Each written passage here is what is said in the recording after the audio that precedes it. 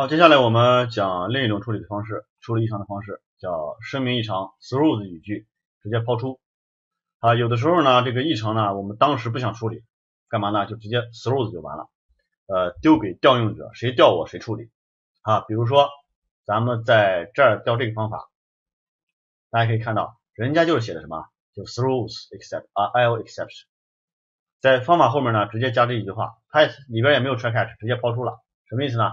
抛出就声明一下，我是有异常的，谁调我谁处理，谁调我谁处理。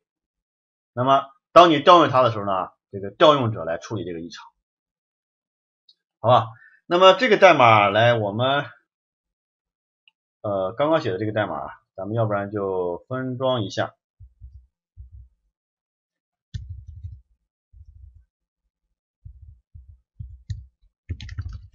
Public static void，嗯，叫什么呀？叫 read read my file。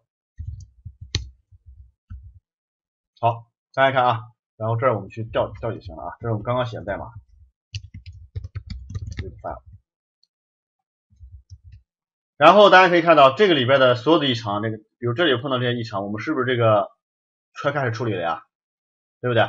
那么我们也可以什么？也可以抛出。啊，来我们看一看啊，抛出应该怎么做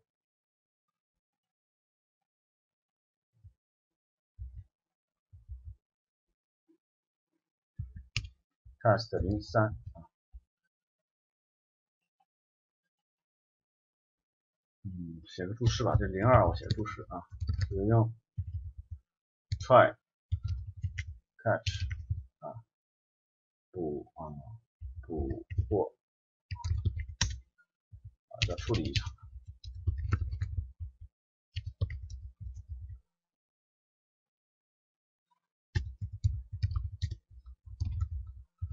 使用这个 throws 啊，声明异常。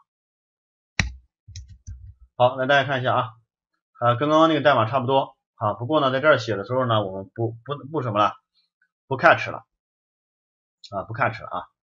呃，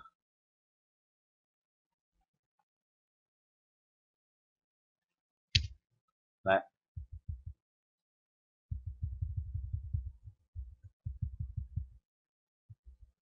假设我这我把这个处理掉，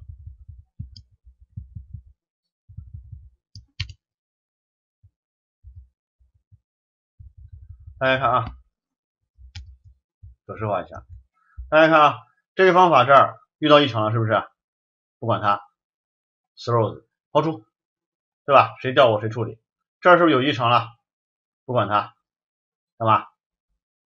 抛出，看懂了没有？啊，当然它是子令跟复类的关系啊，所以它直接抛了一个 l exception，看懂了没有？那么我这儿写了 throws 之后，大家看到没有？我这儿写了 throws 之后呢，哎，在这儿大家看到没有？这儿出什么错了？啊？因为这是调用者呀，这是方法，人家声明了异常，说我这个代码里边是会抛出异常的，那你在这儿呢就干嘛？就必须接着，懂我的意思吗？啊，你必须接着，接怎么接呢？要么 try catch，要么 try catch，要么怎么着？啊，你也向外抛，抛给了谁？抛给了 main 方法，main 方法调了我嘛，对不对？main 方法啊也干嘛？也 throws，也 exception，妹方法抛给了谁呢？抛给了我们的 GRE，懂我的意思吗？啊，你也可以这样做啊。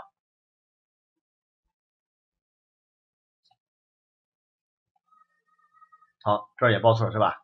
报错以后能干嘛？是不是层层外抛啊？他这有错了，throws 抛出去，对吧？调用者，调用者这儿呢不处理，干嘛？再抛出去，看懂了没有？啊，这也是一种方式啊，这也是一种方式。那么实际上在咱们开发的过程中呢，呃，try catch 也用。这种声明的异常呢也用，我们以后大家去开发的时候呢，也会我们的代码是分层的啊，好不好？那些类是分层的，比如说呃，我们比如我们通常会用框架，对吧？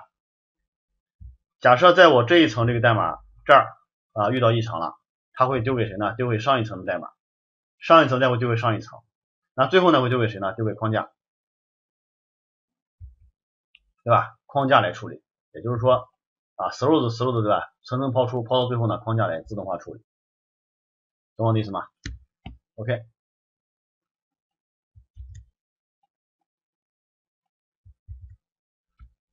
呃，这是我们使用这个 throws 方式啊来处理异常，啊，这个大家也是了解一下啊，了解一下。